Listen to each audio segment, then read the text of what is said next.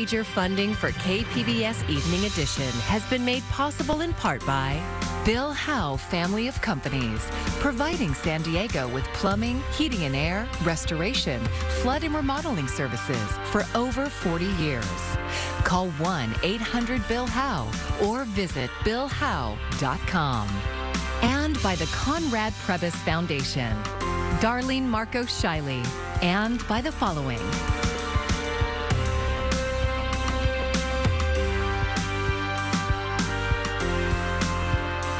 By viewers like you. Thank you. Good evening. It's Friday, April 8th. Thanks for joining us. I'm Maya Trabulsi. It was an arrest that made headlines, even sparked a riot.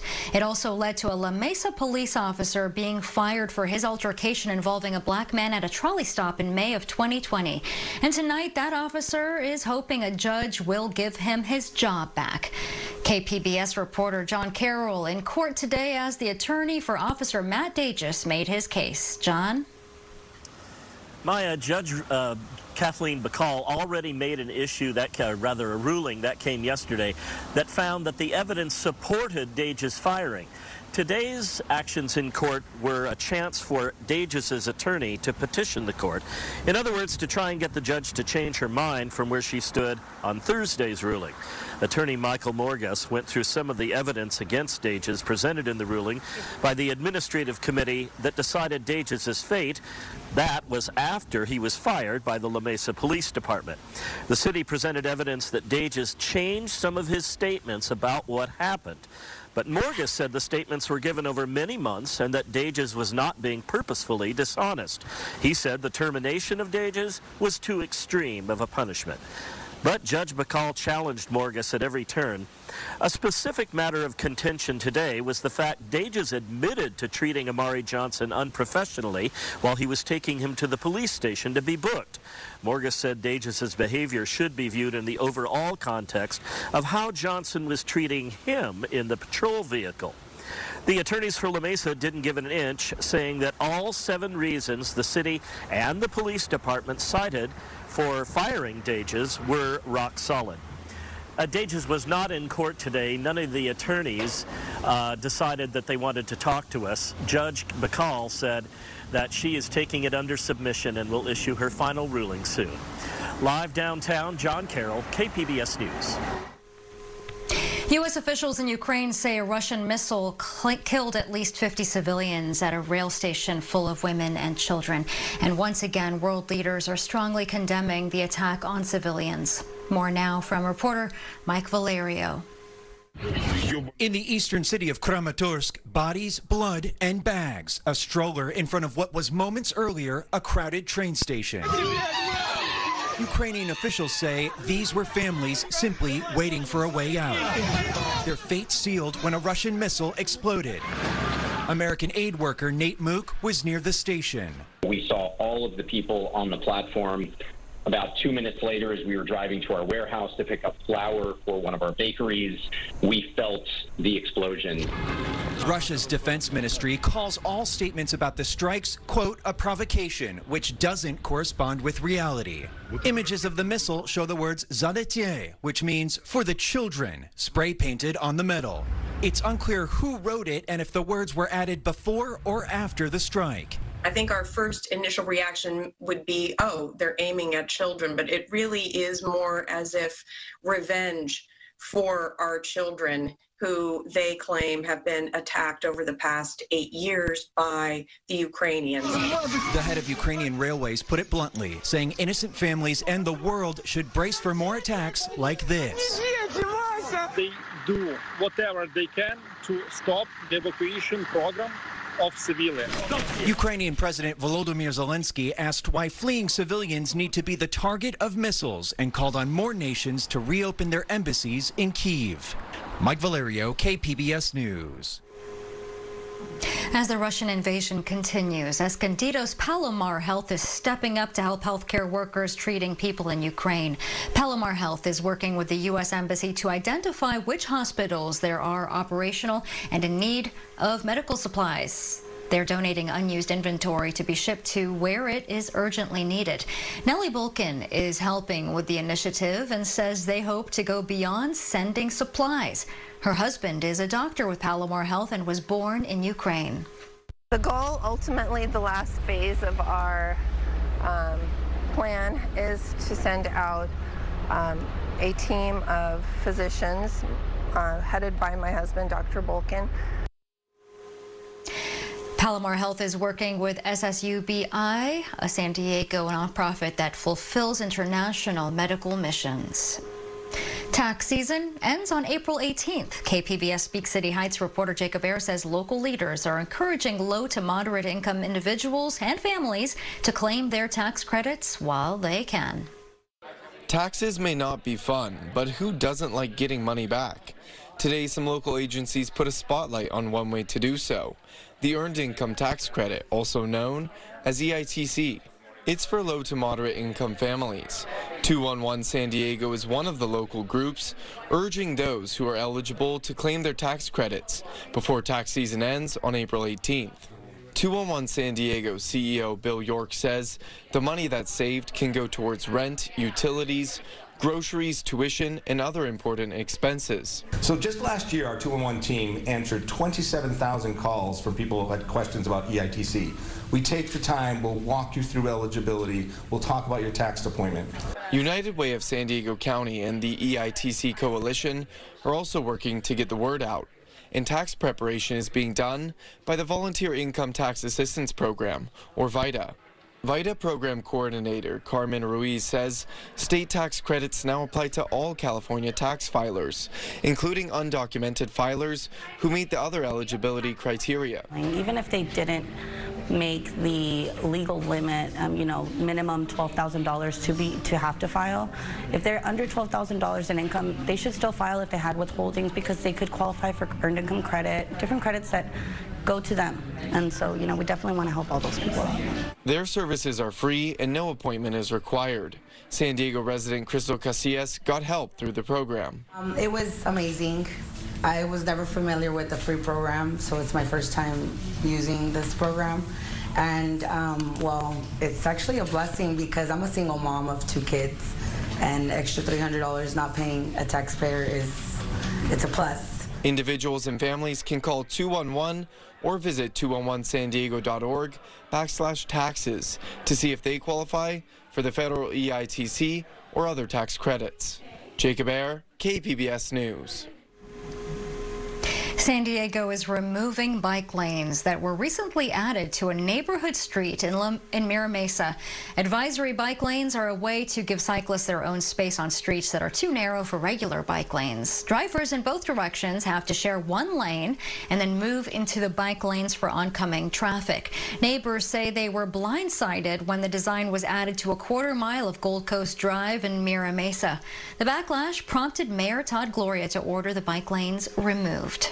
I'm the mayor. The buck stops right here, and that's why I'm out here right now explaining to the public what's going to happen and why we're fixing it. And by this time next week, you will see that this, the road is on its way to being returned to the previous condition.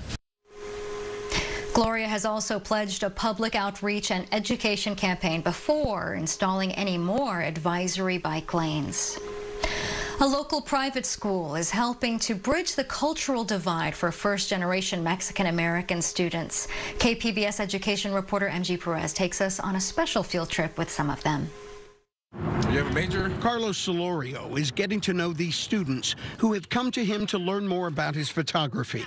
Now on display here at the Centro Cultural de la Raza in Balboa Park.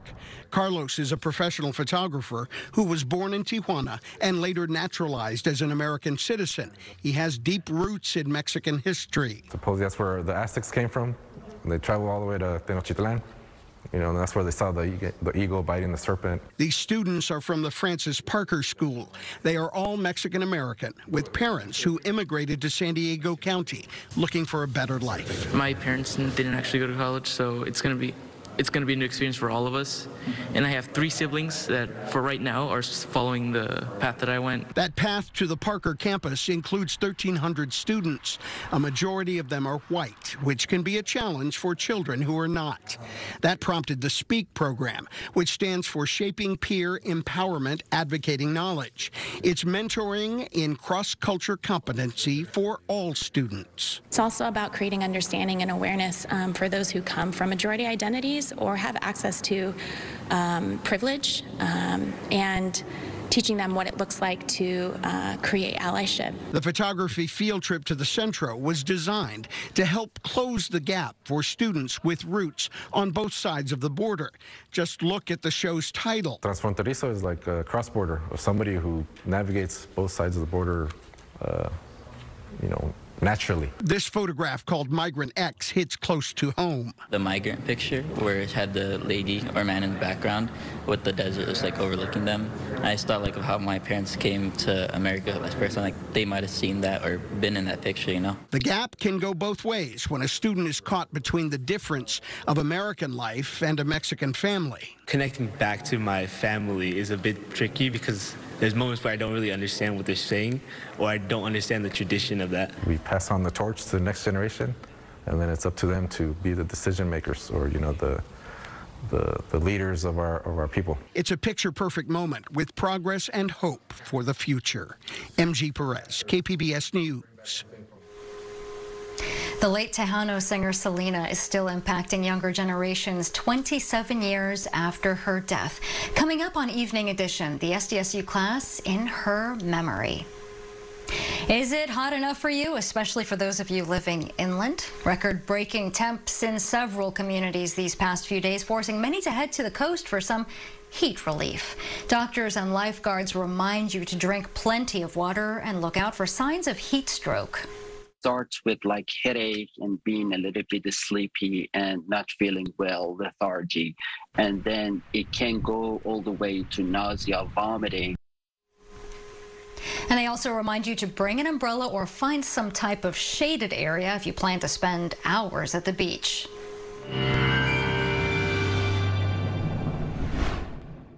Happy Friday, everyone, and thanks for tuning in to KPBS News. I'm Marvin Gomez with a quick look at the weather here in San Diego County. It is going to be trending a little bit cooler for tomorrow as onshore flow returns across our area, but it is only going to be along the coast. Now, as we head into the higher terrain and across the deserts, it is going to be windy this week and into early next week. And speaking of next week, there is going to be some changes that mean cooler weather across our area and the possibility of light rain in a couple of spots spots. Here's a quick look at San Diego County heading into tonight. Temperatures are going to be cooling down into the mid 50s across Escondido, Oceanside 53, and a little bit farther inland, Borrego Springs only cooling down into the upper 60s. Here's a quick look at our Saturday. You can see that cold front diving south across northern California. And of course, as I mentioned, along the coastline farther south, it is going to be trending cooler. But then by Sunday, that cold front will be extending a little bit farther south, and it is going to be bringing a lot cooler conditions for most of the state. And then by Monday, that same cold front is going to continue to make its way farther south. In Northern California, we'll see the rain during the day. And across our area, we're going to be tracking the rain possibly Monday night into our Tuesday morning. Here's a quick look at San Diego County for tomorrow. Still hot across the inland areas, 98 degrees in Borrego Springs, Mount Laguna 66, and along the coast, we're going to keep those low 70s for our afternoon. Here's a quick look at the forecast uh, for the coast. Again, heading into our Monday, there is the possibility for breezy conditions and a few passing showers. 67 the high for Tuesday. Across inland areas, you'll notice that a number, those temperatures uh, for the next few afternoons, uh, dropping 83 on Saturday. And then by the time we head into your Monday, we're only going to be at 67. In the higher terrain, we're keeping 60s for this weekend. Eventually, we're going to end up with some 40s by the time we head into your Tuesday with windy conditions during the morning hours. And again, there's the possibility for wet weather there. And across the deserts, numbers are going to be gradually dropping back into the low 80s for Monday and possibly upper 60s heading into your Tuesday. I'm Marvin Gomez with your KP PBS forecast. The lead has flipped in the Assembly District 80 special election. Georgette Gomez is now ahead of fellow Democrat David Alvarez by less than 150 votes. There are still about 500 votes to be counted, and the registrar of voters says that number may not be out until next Thursday when the election is certified. No matter what those results are, the race is going to a runoff on June 7th. The candidates are running to replace Lorena Gonzalez, who resigned earlier this year.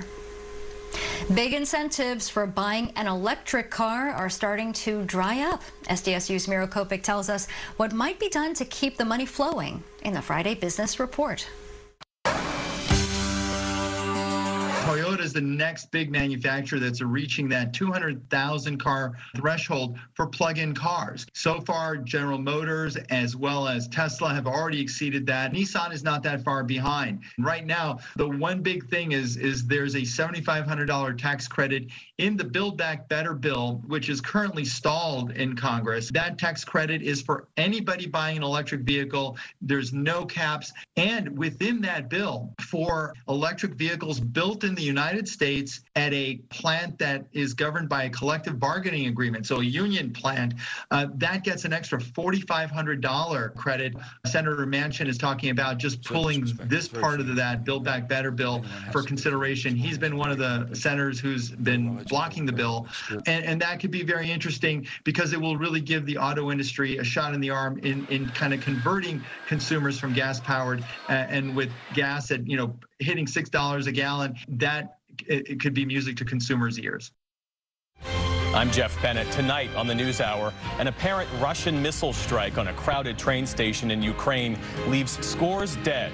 We'll have the details coming up at 7 right after Evening Edition on KPBS.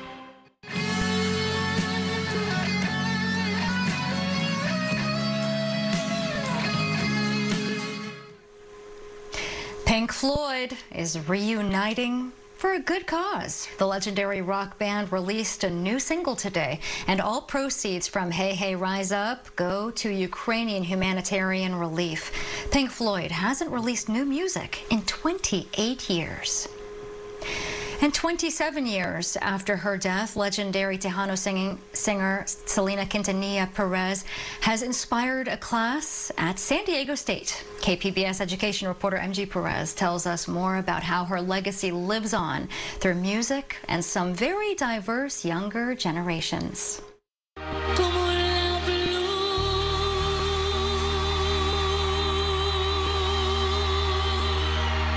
I heard a song on the radio and I really fell in love with the song Como la Flor. Georgette is a drag queen created by this young man, born Jorge Noe Ledesma in a small town just north of Mexico City. Georgette sits at her kitchen table with a powder puff and makeup, preparing to become her alter ego, Selena, the Tejano superstar who died tragically, but helped a confused 10 year old Mexican boy live and find his true identity. I had a lot of bullying when I was a kid because of who I am. But um, I feel great and I love what I do. That's the main thing. Jorge immigrated to San Diego more than 20 years ago. Signs of Selena are everywhere in his life, including mementos and memories of visiting her gravesite in South Texas. All of it has brought happiness and confidence credited to Selena, her songs, and her spirit. She didn't speak Spanish so well when she was in the interview, but always you can see that she was giving her best. And this is my first time having an interview in English, and I'm trying to give my best. So it's we have something in common with that. The sounds of Selena are now part of a college curriculum. Professor Nathian Shae Rodriguez pitched the idea for a Selena class to the administration of San Diego State pre pandemic. It is now a permanent elective offered in the spring semester. Dr. Nate, as students call him, is a fan and fellow Texan who grew up with a heavy influence from the Tejano singer. He built the class syllabus with 16 weeks of learning modules that use Selena as a bridge to Latino culture, media representation, and personal identity. There are field trips for students, too. They get to go out into Barrio Logan and they get to see the Selena Mercado for Walk the Block. They get to go to Mujeres Brew House for the release of the beer. They get to go see drag shows and they get to conduct an ethnography, write about it, take pictures, videos, sound. An ethnography is the study of people in their own environment, which includes the LGBTQ community. The next two weeks of class are focused on learning that goes boldly down the Rainbow Road. Selena is a huge inspiration to the queer community. Tons of drag queens will impersonate her. A lot of uh, queer people, such as myself, find meaning in her music. And so we're going to learn about how we can queer not just Selena's music, but the Latinx culture.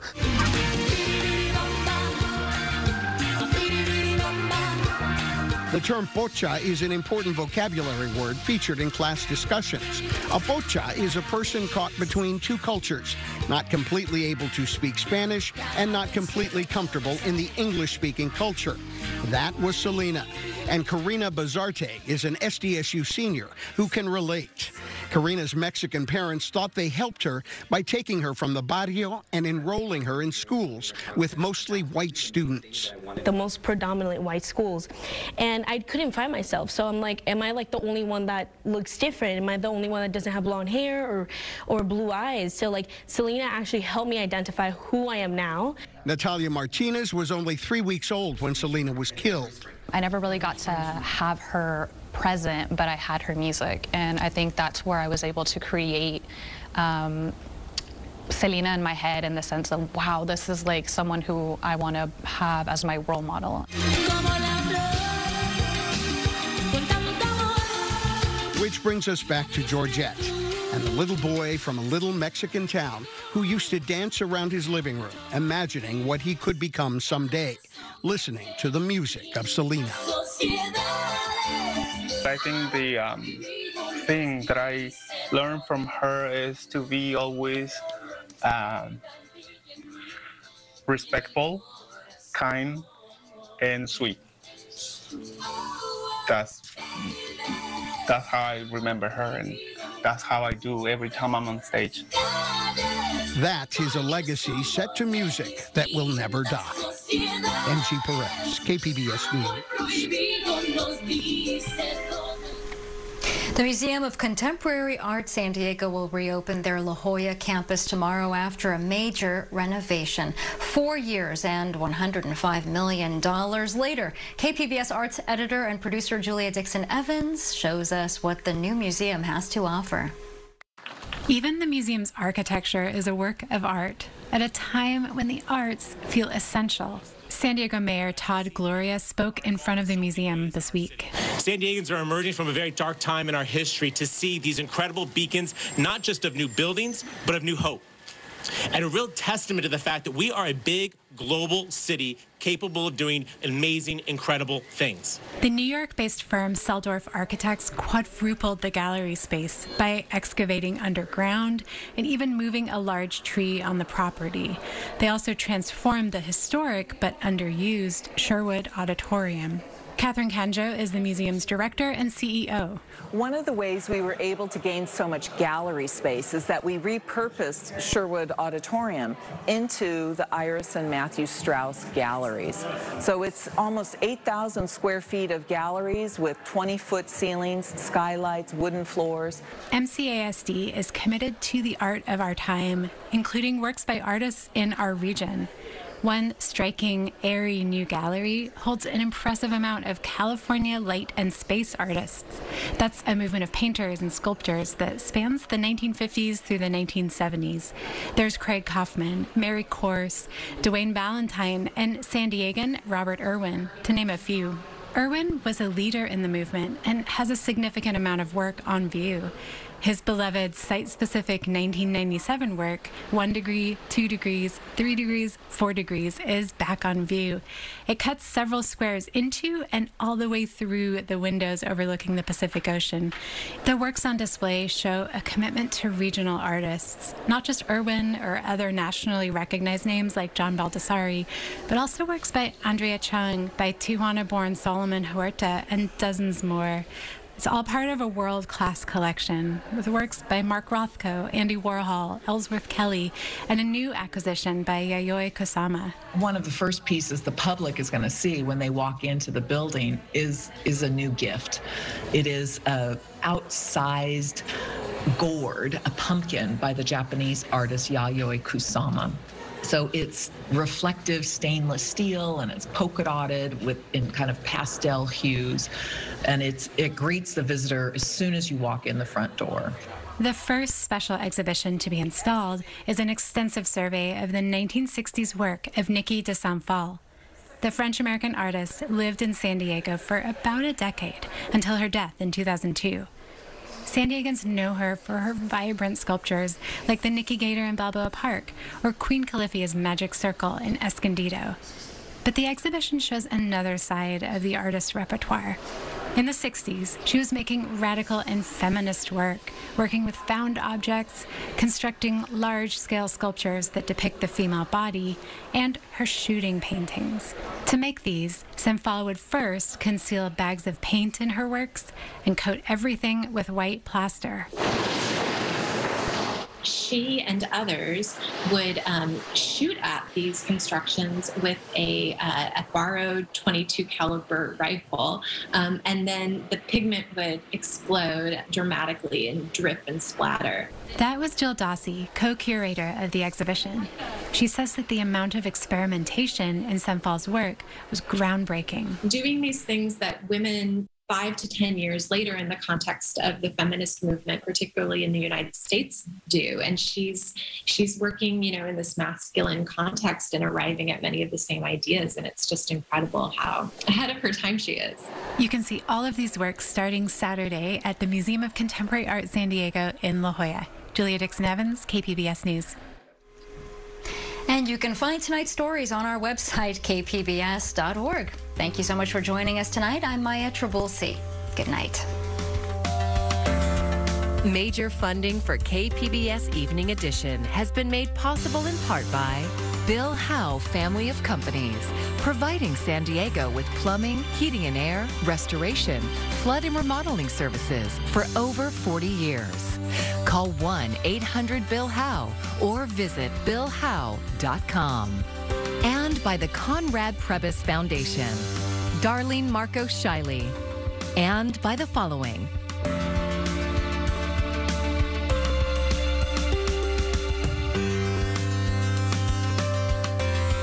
By viewers like you. Thank you.